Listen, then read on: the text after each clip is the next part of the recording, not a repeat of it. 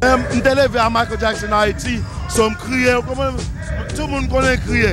Mte son bon ek li teye, li fè an bon ba pou Haiti, so mwen men plis. So, na priye pou fomil, repon. So, jes reme moun ki bo koto kounya, pase ou ban kon ki le, ou ka moui. Sa son bagaj jis kounya, jen ba la pa pase a misye, ba m kompren li men, m kompren, pase. A 50 an. Son ba, yon de 50 an, ou an de ou jen toujou, mwen Michael Jackson. Maybe Haiti map gade, de Michael Jackson. Oh, thriller, la. On va, mwen kon ten anglè, men, ou te kon danse ya, on va, mwen te kon fè dans nan, the moonwalk, mwen te kon fè the moonwalk.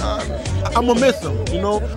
Michael Jackson, I grew up on Michael Jackson with the moonwalk. I, I, I had the VCR and used to pause it, and that's how I learned how to do my moonwalk.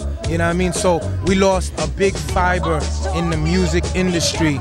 This guy, even though people thought he was to the left, but creatively, he was the. I, I watched all his videos and I saw stuff that I didn't even see before. This guy was ahead of his time. He was very creative, and when you're doing music, you have to be creative so you don't sound and you're not like anybody else. This guy was the epitome of that. I mean, once I heard the news, it was definitely something that touched me.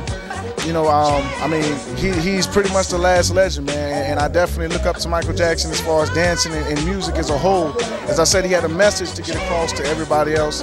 And, and I, I want to follow his footsteps and, portraying a message in my music as well. Tabon problem, you know, I'm really saddened by it. I grew up, you know, I grew up practically, you know, listening to Michael Jackson. Et M. Bess, jeunesse mwen. I mean, m sonje, m sonje tout epok yo, m sonje Beat It, I remember Billie Jean, I remember Thriller. Mwen dem tout pak fet nan video Thriller, m sonje tout, you know, tombe sou You Are Not Alone, Black and White, tout müzik msye yo.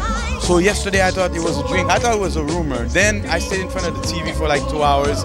I couldn't even go out. So it, I'm still in shock, you know, I'm still in shock. And I think the world was the biggest, the biggest entertainer of all time.